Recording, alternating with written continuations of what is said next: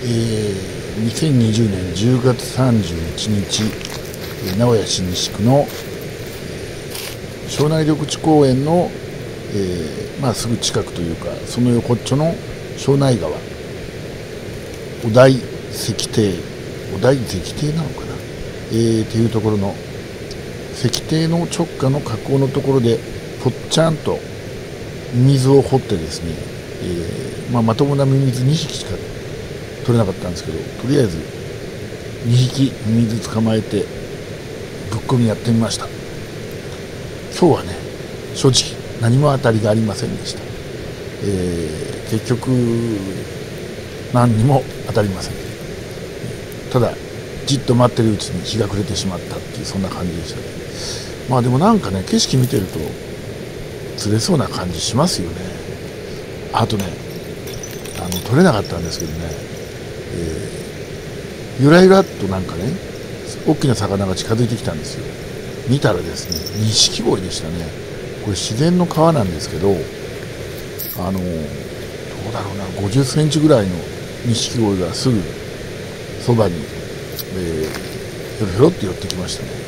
まあ、それ見えたんで魚は間違いなくここいるんですけどね、えー、今日はぶっ込みに反応してくれるお魚いなかったですね。あの一応この石庭のね河口の辺りなんですけどねちょっと釣り道具がチャチーというのもあったのかな。全然あの波止めでぽっちゃんとやるようなそんな感じの仕掛けでね水をつけてぽちゃんとやってきたんですけど当たりもなかったですね。ちょっと寂しかったですね。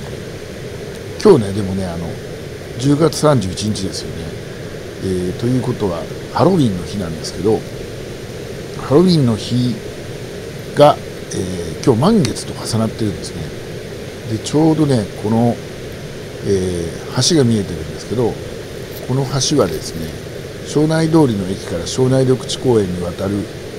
え、まあ、西区。向こうも西区。右手も西区。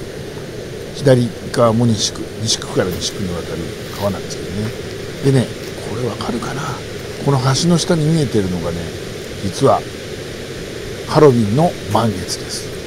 これはねとても大きく綺麗に見えました。まあ今日はちょっとねお魚さんは相手してくれなかったんですけど、えー、ハロウィンの満月を、え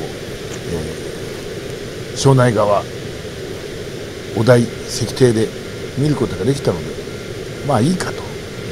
であと魚はねとりあえずでっかい錦鯉が寄ってきたんでここは間違いなくいるんですわ。で前はねナマズこの辺で釣ったこともあるんでねお魚釣れるんですけど、うんまあ仕掛けがチャチかったけどでもナマズも同じような釣れたしな。